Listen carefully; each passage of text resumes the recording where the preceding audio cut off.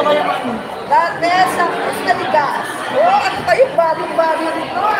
Wala pang kuryente. Pero may servisyo na kanina ng barangay na kumpleto. May doktor, may, dentist. Malaki yung barangay na, barangay kita. Saan na kabalik? At kailangan Mami, Thank you, thank you, thank you, ma'am. lang po sa inyong ano po, ah, parang luha niyo po, kaya po, andyan sa inyong mga mata. Ah, medyo naluha. Pero nagsisipot ka sa ulo. Hindi naman, kaya lang ah, medyo sigaw. Alam mo naman tayo, syempre dapat ang acting mga mata-mata naman. Ah, ah. Pero okay naman, na-justify naman. Baka may mensahe po kayo kay Direk Daryl Yap. na director. Ito yung unang malaking project niya. So, siguro as he goes on, baka mas mag improve pa siya. Siyempre, from 1 to 10, I 5.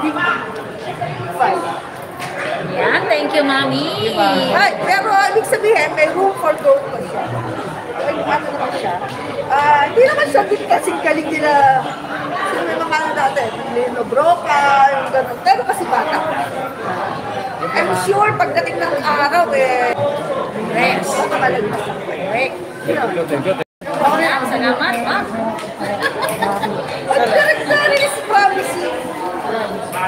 Promising siya. Hindi siya yung baguhan na bobo. Ah, ah. Hindi siya yung baguhan na bobo.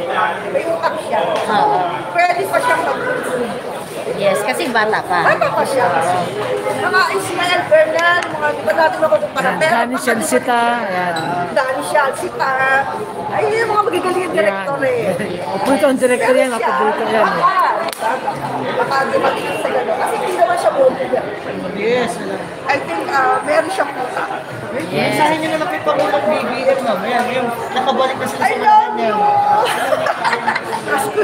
Eh, ma'am, ano naman, Happy ako na siya. ano naman ang masasabi mo doon sa nang babas ngayon sa pelikula ni Sir Jarelia? Sir Jarelia. Alam mo naman ang tao, lagi may masasabi.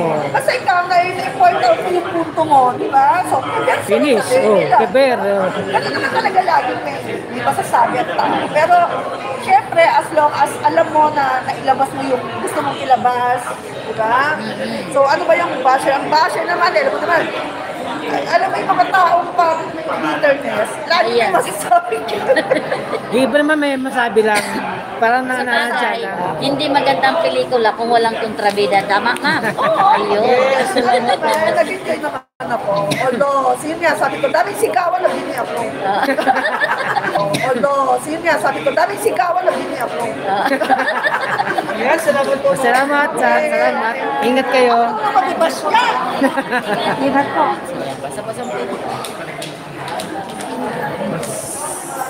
During that time, mas ano yung ano tawag doon, Ah, dito pa wala yung mga addict niyan, hindi ka takot. Basta hindi ka talaga gumagawa ng malaking kalokohan, wala kang ano, hindi ka matatakot.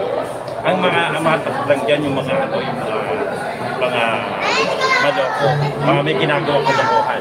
Yung labag sa Oo, batas. oo, oo.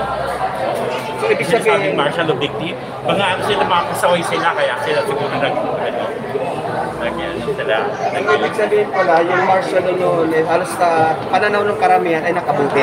Oo, oo, tahimik. Ano siya, tahimik to. Ang tahimik. Yung pagdating ng 10 lang, pagdating ng 12 ko lang, wala kang nakakita ng ano, hindi nakakatakot.